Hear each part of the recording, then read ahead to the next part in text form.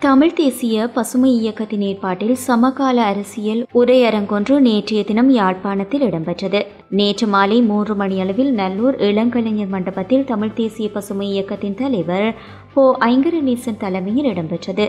நிகழ்வில் தமிழர் தாயக அபிவிருத்தியில் அரசியலின் வகிபாகம் எனும் தலைப்பில் சமூக செயற்பாட்டாளர் இ. செல்வினும் தமிழ் தேசிய அரசியலில் சிவில் அமைப்புகளின் வகிபாகம் எனும் தலைப்பில் யாழ்ப்பாண பல்கலைக்கழக ஊடக கற்கைத்துறை தலைவர் கலாநிதி சி ரகுராமும் மற்றும் தமிழ் தேசிய அரசியலில் பூகோள அரசியலின் வகிபாகம் எனும் தலைப்பில் அரசறிவியல் துறை தலைவர் பேராசிரியர் கே. ரி கணேசலிங்கமும் உரை நிகழ்த்தியிருந்தனர் இந்த நிகழ்வின் ஆரம்பத்தில் டிசம்பர் இருபத்தி ஆறு வடமாகாண இயற்கை பேரிடர் தடுப்பு தினத்தை முன்னிட்டு மெழுகுவர்த்தியேற்றி அஞ்சலி செலுத்தப்பட்டமை குறிப்பிடத்தக்கது.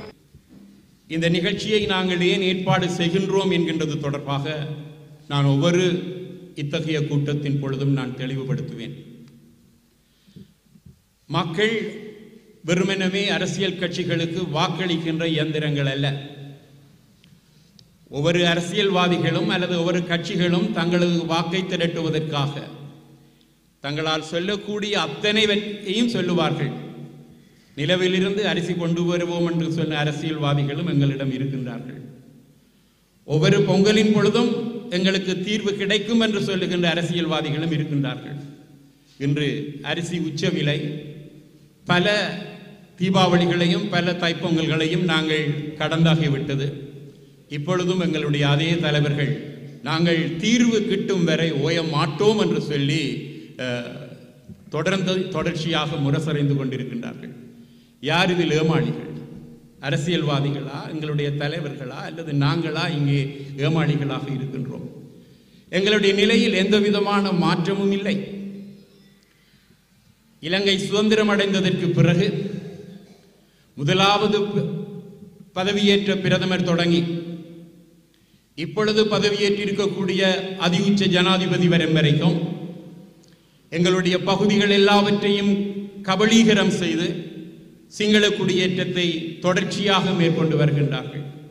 ஒவ்வொரு சந்தர்ப்பங்களிலும் எங்களுடைய தலைவர்கள் இது தொடர்பாக எதிர்ப்பு குரல் எழுப்பி இருக்கின்றார்கள் ஆர்ப்பாட்டங்கள் நிகழ்த்தி இருக்கின்றார்கள் இது தொடர்பாக பேசியும் வருகின்றார்கள்.